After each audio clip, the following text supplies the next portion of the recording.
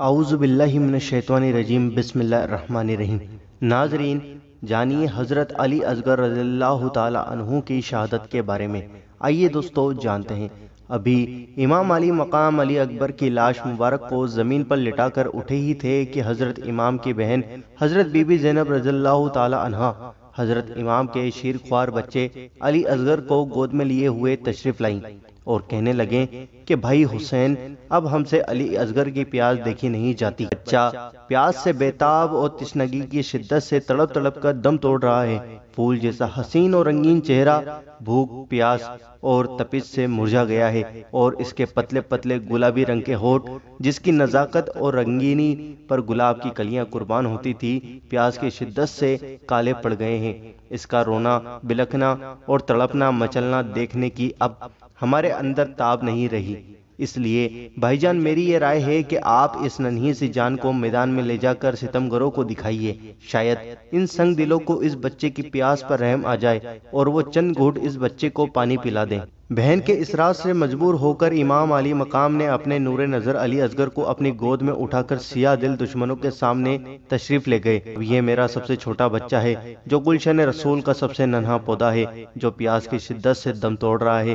میرا یہ بے زبان بچہ، اس نے اب تک کسی سے کوئی سوال نہیں کیا ہے، مگر آج ہی اپنے ننھے ننھے ہوٹوں کو تمہاری طرف پھیلا کر تم سے دریا فرات کے چند گھوٹ پانی طلب کر رہا ہے۔ اگر تمہارے باغی ہیں تو ہم ہیں تمہارے دشمن، ہیں تو ہم ہیں، تم ہمیں پانی مت دو۔ مگر اس نور کی تصویر اور حسن کی مورت کی پیاس پر رحم کرو اور خدا کے لیے تم میرے لال اور چمن فاطمہ کے نون نحال کو چند گھوٹ دریا فرات کا پانی پلا دو۔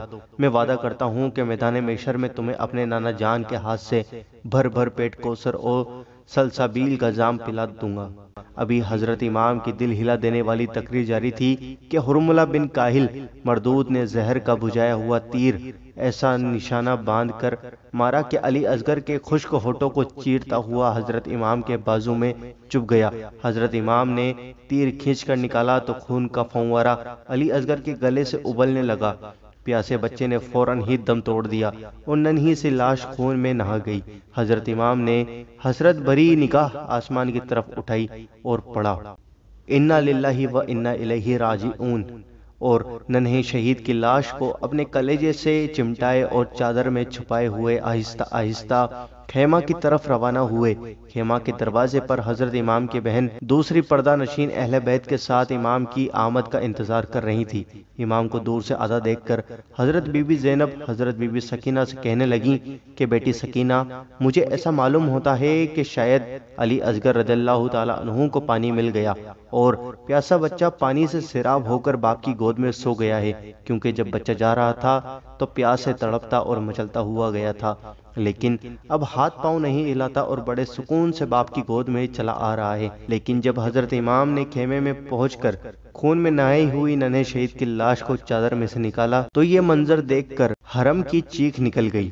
حضرت امام نے ننہی سی لاش کو بہن کی گود میں دے دیا اور فرمایا کہ بہن زینب، صبر کرو اور شکر ادا کرو کہ خدا نے ہم سے یہ سب سے چھوٹی قربانی بھی قبول فرما لی۔ اور بہن زینب، خدا کا سجدہ شکر ادا کرو کہ مجاہدین کربلا کا سب سے ننھا سپاہی بھی اپنے خون کا آخری قطرہ راہ حق میں قربان کر کے دونوں جہاں میں سر کھرو ہو گیا۔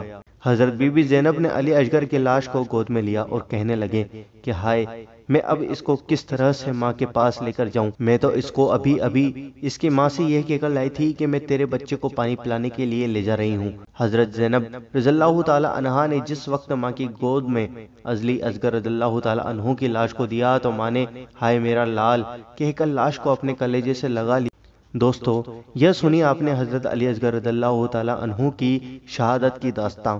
اس ویڈیو کو آپ دل سے لائک کر دو اور اس ویڈیو کو دل کھول کر زیادہ سے زیادہ سبھی لوگوں کے ساتھ شیئر کریں کہ کیسے ایک ننھے شہزادے نے اپنی شہادت دے دی۔ دوستو، اس ویڈیو کو آگے شیئر کریں، سبھی اسلامی بھائیوں بہنوں تک ویڈیو کو پہنچائیں۔ ہم آپ سے ملتے ہیں اگلی ویڈیو کے اندر انشاءاللہ السلام علیکم، دعاؤں کی گزارش۔ اللہ حافظ۔